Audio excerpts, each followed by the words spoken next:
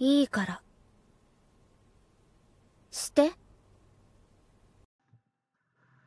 I love this anime. I really, really love this anime. Seriously, this is the hottest best girl entire year. Literally set the whole bar for every best girl this year alone. So, watching so many isekais, and I mean a lot of isekai, transported to another world, in a fantasy world just reincarnated, and my favorite, in a fantasy world with no superpowers but the power of intellect.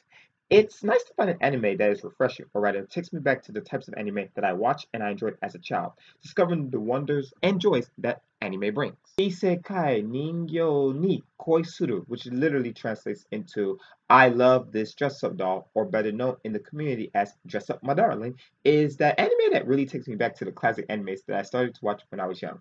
Honestly, I could try to go through all the hoops and loops about the story and the plot and attempt to hide the fact that I'm just a pure degenerate who is just simply crushing over Kitagawa and everything Kitagawa. But I'm, I'm not going to do that. The main reason you should watch this is because of Kitagawa. That is all. But I mean, you don't have to take my word from it. Just go on any Facebook or any anime poll website and just look at Kitagawa dominating the top of the history of poll of best girl in the year of best girl. But honestly, there should not be a single person who would not want a Kitagawa. Like literally, Kitagawa is the number one ideal girlfriend. This whole world should just be Kitagawa, and I'm not really gonna take that back, even though that sounds cringy of saying it. But she's definitely the girl that you definitely want in your life. Think about it. One, she's hot. Okay, and the anime just shows how hot she is all the time. Then on top of that, she's direct, so you always knows what she's thinking, and she's never afraid to tell you how she's feeling and when she's feeling. Then she's a gyaru, so she's a hot gyaru. So everything she says is cute and pop. Day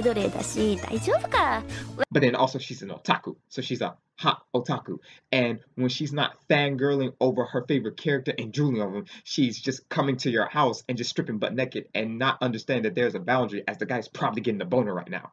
And when she's not being naked and crossing boundaries, she's either just flipping her boobs up and down, which honestly, yeah, the boob physics is, is good in this. Come on, we haven't seen this since high school DxD I mean, high school to dead. Oh, wow.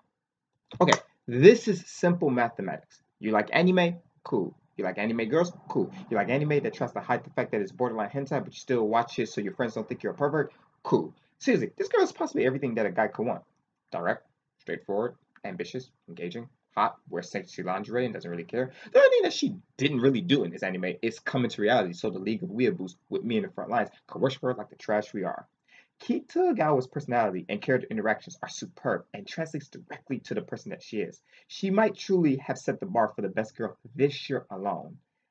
I think this year, if we see another anime girl, it will definitely be like, hmm, she's not Kitagawa. Now, at this point, you're probably thinking that anime about a sexualized girl shaking her booty might,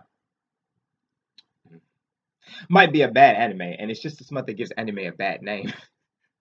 Uh, and honestly, I won't retract my original point that you should watch this anime mainly because of Kitagawa. But that's honestly not a bad one if you're thinking about it. Kitagawa isn't just awesome because she's direct or blunt. It isn't at all the sexy lingerie that she wears, but I mean, that's a real good darn reason. Kitagawa is so awesome because she does something special that I often feel is overlooked because you're staring at her she does something that's actually quite unique, and I would like to see more of it, not only in anime, but in real life in general. She accepts the main character for who he is and all of his quirkiness. Gojo, hmm, you wish, sadly is often overshadowed due to the overwhelming sexiness that is Marin Kitagawa. He is a character with a rather sad past. He was always aspiring to be like his father, a master craftsman for the things that he loves, only to be rejected by his childhood friend and saying that his passion was weird. This caused him to hide his ability and passion from everyone and even doubt and question if he should continue doing this or not.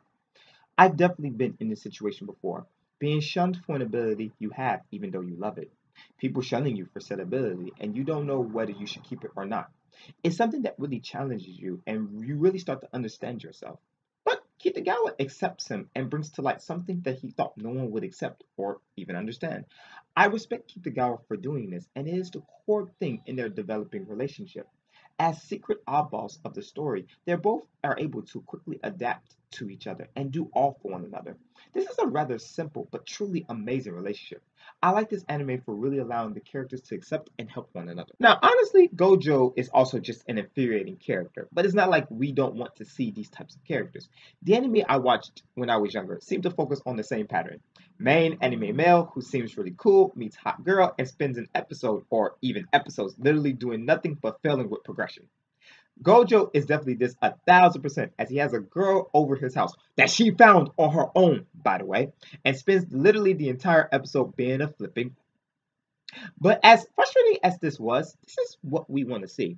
Think about anime like Slime or SAO, even, even though I don't consider it an isekai, but I'm not gonna argue this right now.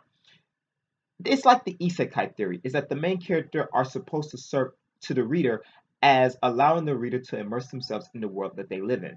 This is why Kirito or Rimuru make absolutely no sense because you're supposed to imagine that you are these characters rather than for them to make sense.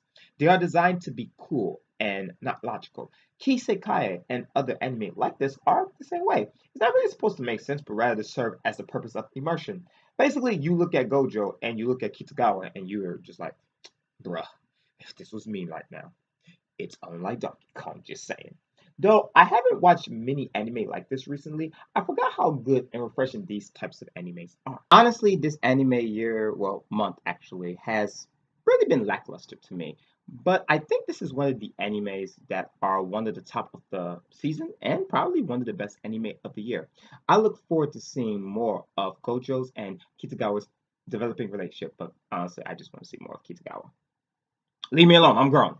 And that is the video. Um, I hope you enjoy it. Um, if you watch it, let me know what you think about this anime series. I do think it's absolutely amazing. If you like what I do, please leave a like and a subscribe. I'm almost at 200 subscribers. I mean, there's two of you out there that can subscribe to this channel. With that being said, thank you very much, and I'll see you next time.